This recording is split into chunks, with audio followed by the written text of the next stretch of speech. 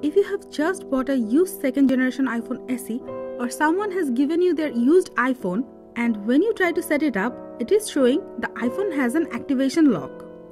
It means the previous owner did not remove the device from their Apple ID. In this video, we will show you how you can fix this issue. Let's check it out. If you have the passcode previously used in the iPhone SE2, you would be able to unlock it easily. Tap Unlock with Passcode. Tap Use device passcode.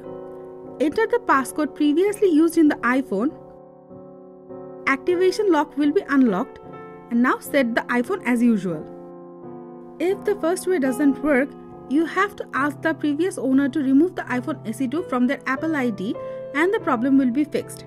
Open browser on PC or mobile device, go to appleid.apple.com, log in with your Apple ID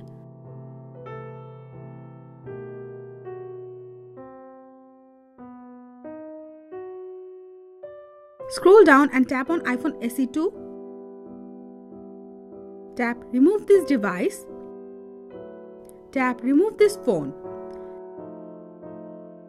And it will be erased from the Apple ID. And the activation lock on the phone will be erased. This is the way you can remove activation lock from iPhone SE2. That's it for now. If you have any query on the topic, let us know in the comment box. Subscribe to our channel for tips and tricks for Apple devices. Thank you.